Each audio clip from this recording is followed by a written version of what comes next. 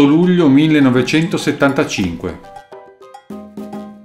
Ilic Ramirez Sanchez, 25 anni, figura di primo piano del terrorismo internazionale, veste alla moda, frequenta l'alta società europea, è conosciuto e ammirato, per la sua cultura e la sua intelligenza non comune, nei circoli diplomatici dell'Occidente. Il suo nome esatto di battesimo è Ilic. Suo padre, un ricco avvocato di Caracas, esponente del Partito Comunista venezuelano, l'ha voluto chiamare con uno dei nomi di Lenin. Da qualche giorno soltanto Ilic è balzato alla cronaca quotidiana, soprannominato lo sciacallo per la somiglianza del suo piano d'azione con quello del famoso personaggio di Frederick Forsyth, è ritenuto coinvolto nei più clamorosi attentati compiuti in Europa negli ultimi anni. Nel dossier che i servizi del controspionaggio di tutta Europa hanno aperto a suo nome, da pochi giorni Ilic Ramirez Sanchez alias Carlos Martinez, viene indicato come il maggiore indiziato per l'attacco condotto da un comando giapponese all'ambasciata francese dell'AIA per il rapimento dell'esponente cristiano-democratico tedesco Peter Lorenz per l'attentato all'aeroporto parigino di Orly, quando una bomba esplose contro un jet della compagnia israeliana El Al, per altri attentati minori a Parigi, Londra e Berlino. Su di lui ci sarebbero prove di colpevolezza anche per l'attentato all'aeroporto romano di Fiumicino il 20 dicembre 73, quando 32 persone morirono a bordo di un Boeing 707 della Panam.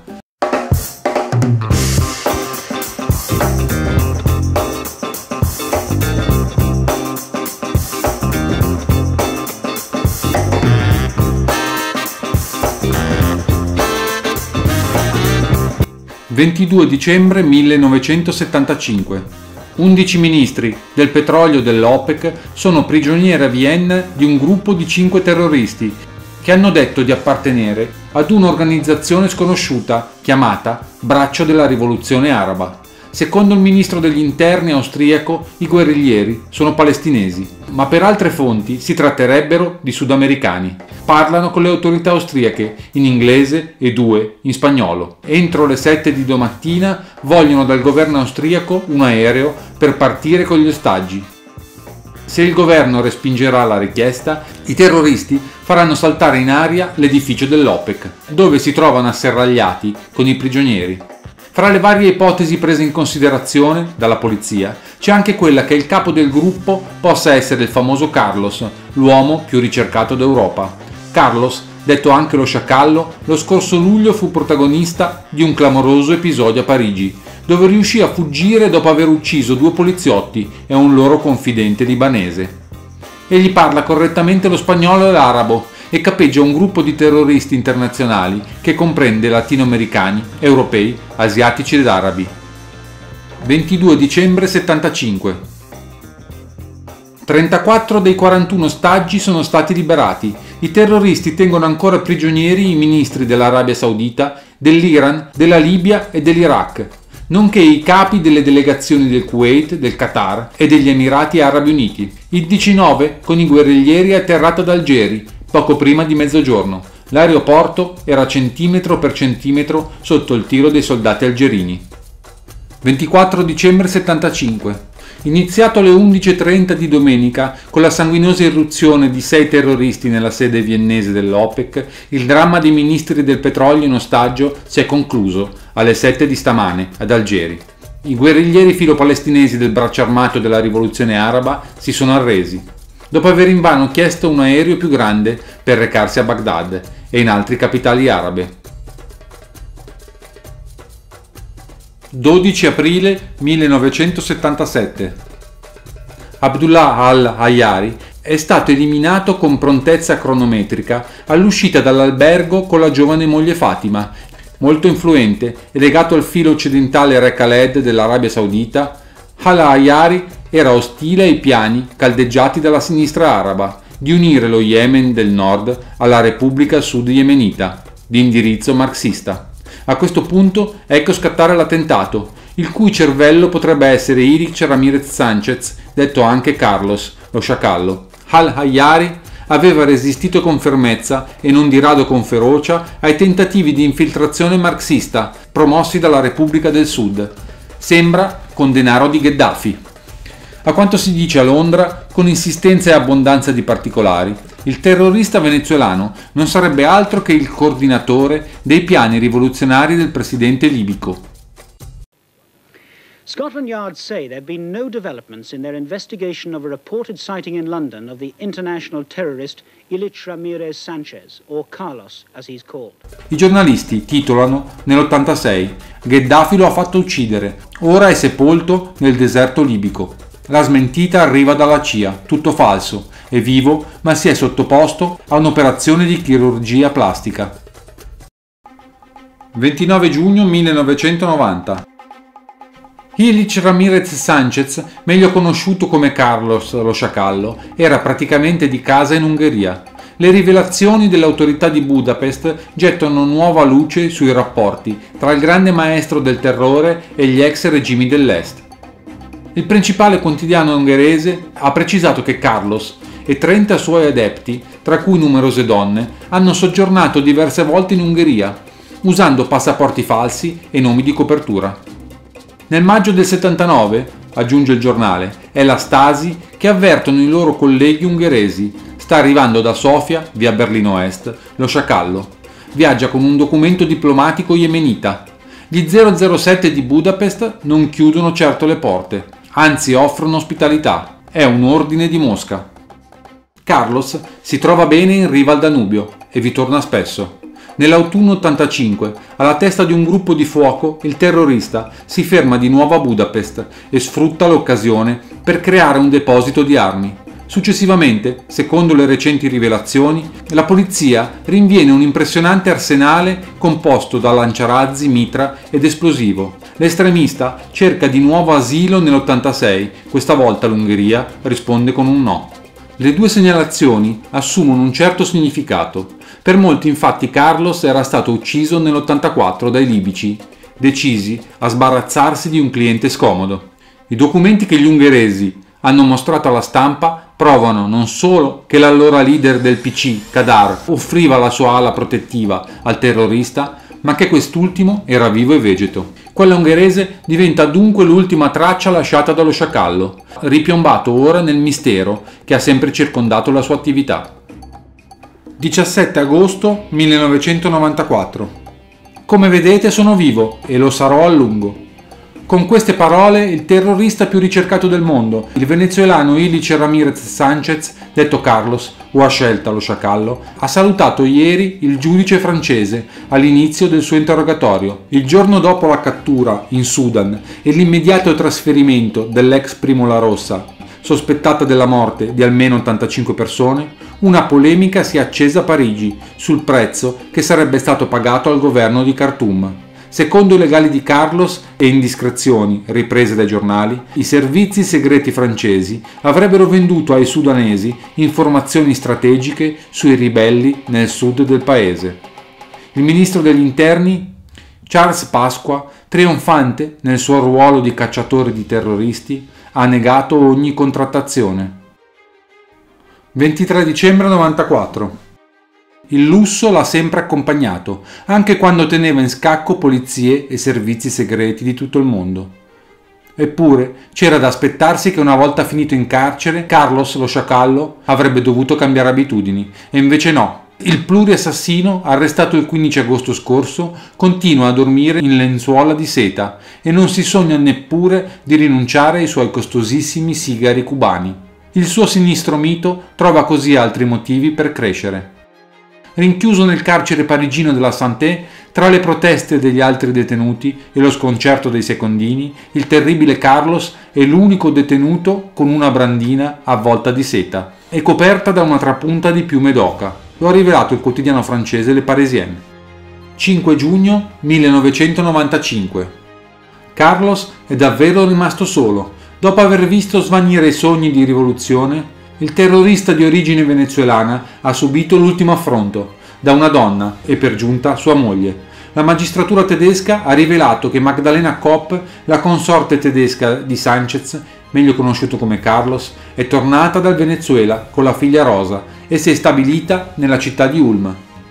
Con una decisione spontanea, la signora ha deciso di aiutare i giudici a far luce su alcuni attentati organizzati dal marito.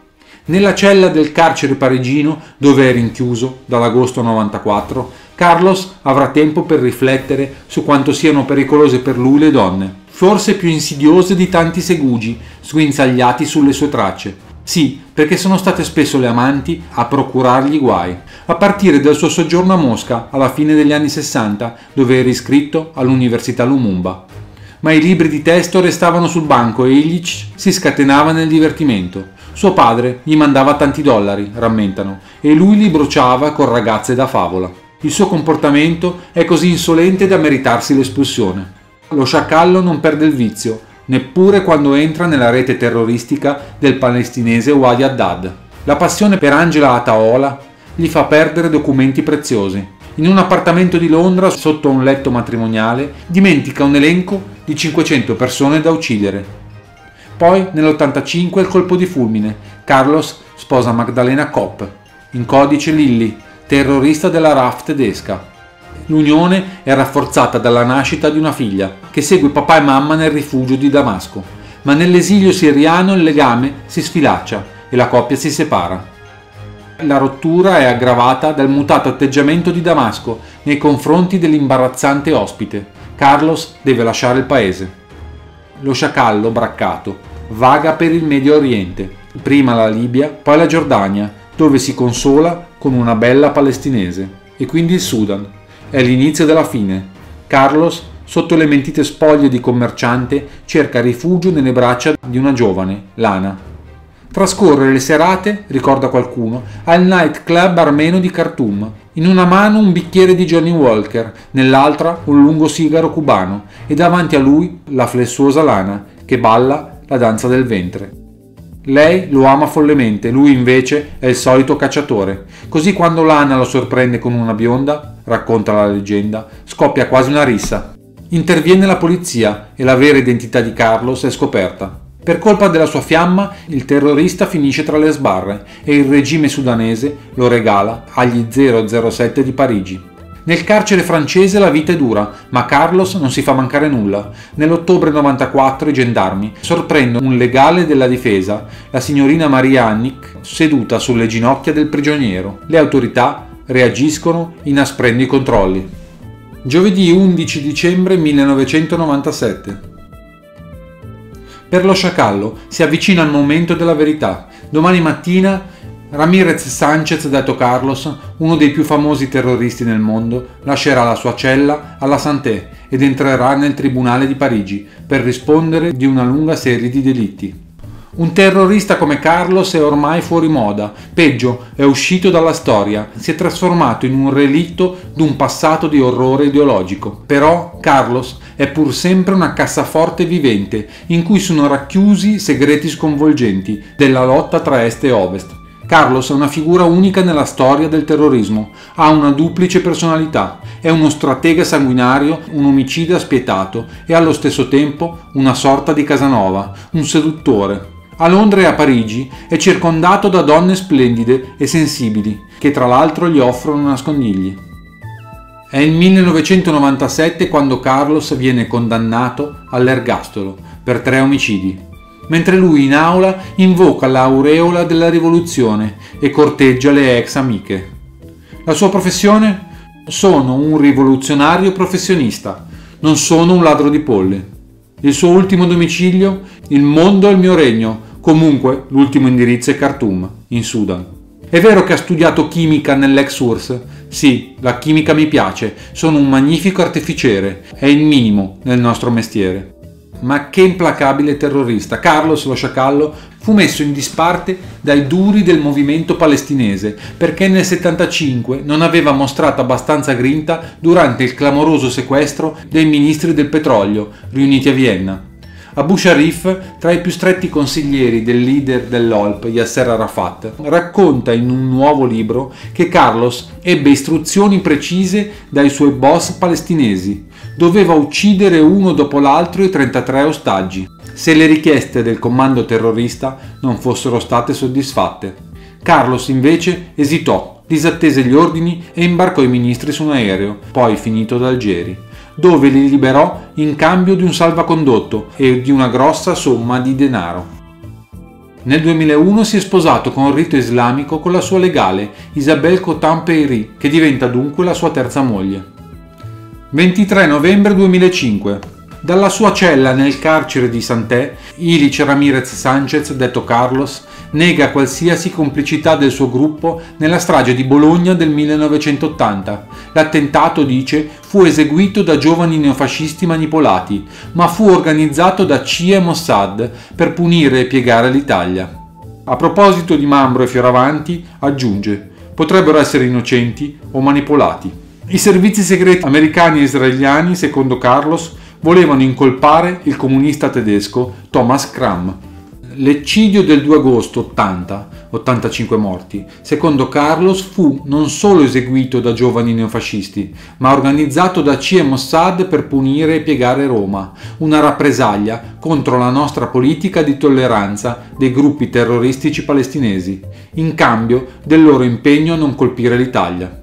La bomba nella stazione andrebbe quindi inquadrata in una guerra segreta tra i due blocchi, Stati Uniti e Unione Sovietica che si combattono con opposte reti di servizi e di terroristi. Per Carlos la miglior conferma sarebbe proprio la presenza di un certo Thomas Kram. Siamo sempre stati convinti che sia stata organizzata dai servizi americani e israeliani, i veri padroni del terrore nero in Italia. Poco tempo dopo la strage ho ricevuto dalla Germania Ovest un rapporto scritto che è molto importante e dovrebbe essere ancora negli archivi dei rivoluzionari internazionalisti. Il rapporto dice che un compagno tedesco era uscito dalla stazione pochi istanti prima dell'esplosione. Ho ricordato il suo nome leggendo il Corriere, Thomas Kram. Era un insegnante comunista di Bochum, rifugiato a Perugia. Il giorno prima della strage era a Roma, pedinato da agenti segreti che lo seguirono anche sul treno per Bologna. Cram aveva solo un sacchetto di plastica con oggetti personali. Ma se fosse morto nell'attentato sarebbe stato facile attribuirgli ogni colpa. Cram era un suo uomo? Le risulta che la notte prima fosse all'albergo centrale di Bologna. Cram non è mai stato membro della nostra Ori. Bisognerebbe chiedere a lui se abbia dormito a Bologna e perché, io lo ignoro. Cosa pensa della condanna definitiva di Mambro e Fioravanti? La mia opinione è che se sono colpevoli avevano qualcuno dietro, qualcuno capace di manipolare giovani neofascisti, come per Piazza Fontana. Il fatto che non abbiano mai parlato però mi fa ritenere che siano innocenti. Lei sconta l'ergastolo per l'omicidio di due poliziotti francesi. Sarebbe disposto a farsi interrogare da magistrati italiani? Deve essere chiaro che io non sono un informatore della polizia e che non denuncerei mai militanti politici ma sono pronto a testimoniare contro tutti i traditori. Bassam Abu Sharif racconta Io lanciai un allarme, Moro era in pericolo, credo un mese prima del sequestro, avvenuto il 16 marzo 78. In quei giorni Giovannone non era a Beirut. Incontrai un suo giovane assistente e gli riferì che cosa mi aveva raccontato una delle ragazze di Carlos, era tedesca e aveva partecipato a una riunione dove era stata discussa l'idea di colpire Moro. Le feci capire che il fronte lo considerava un errore. Moro era contro l'egemonia americana, non andava toccato.